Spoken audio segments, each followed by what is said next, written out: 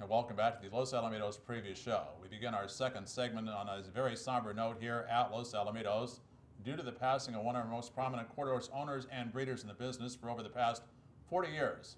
Last Tuesday, Rod MacPherson passed at the age of 87. He had some great horses during his ownership career that included Separatist and Sign of Lanty. And earlier this week, our Director of Marketing and Publicity, Orlando Gutierrez, highlighted the achievements of Rod MacPherson.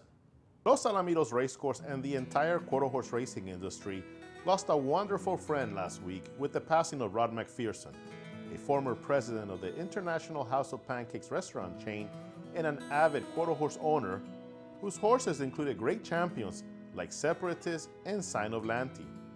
Mac, as he was affectionately known, was 87 years old. MacPherson campaigned horses for over 40 years and was on the Pacific Coast Quarter Horse Racing Association Board of Directors since 2001. Mac is one of only four quarter horse owners to have been presented the title of PCQHRA Owner of the Year more than once since the award's inception in 1977. With trainer John Cooper at his side, MacPherson campaigned some of the greatest runners ever at Los Alamitos. That list includes three-time AQHA divisional champion Separatist and three-time AQHA distance champion Lanty, one of the top 870-yard quarter horses of all time.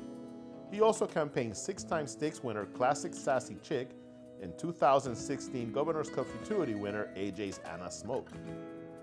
At yearling auctions, his best buy was the eye-catching gray named Separatist, bred by Ed Allred's Rolling A Ranch. MacPherson purchased Separatist for $26,000 at the 1998 Vessel Schwanneville yearling sale. Separatist would win 16 of 24 stars and nearly $900,000 in earnings in his two-year career.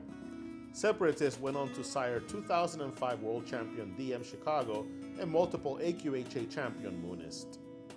MacPherson also campaigned three-time distance champion Lanty, the winner of 16 stakes races at Los Alamitos, third all-time here only behind Charger Bar and Kaweah Bar. Mac was also presented with a Frank Vessels Memorial Award in January of 2010, which is the highest honor bestowed by the PCQHRA.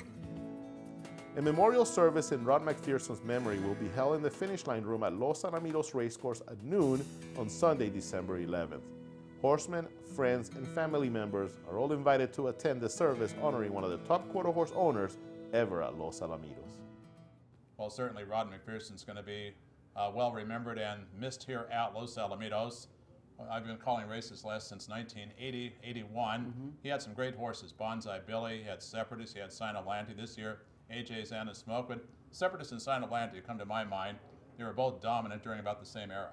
Well, the reason why you talk about those two horses, Separatist and Sign of but I think of will really reach a lot of people out there because, first of all, this is your distance champion. This is the king of 870 and Sign of Every time this horse ran into 70 yards, you knew that this horse was going to a big race. Right. Well, Sign of yeah. certainly was an outstanding mm-hmm. horse, as was Separatist. Rod MacPherson, yes. of course, as Orlando Gutierrez mentioned, was the president of the International House of Pancakes. He was the chief financial officer for the Pacific Coast Quarter Horse Racing Association since, I believe, 2001. Everybody here at Los Alamitos and the entire racing community, we're going to miss Rod MacPherson.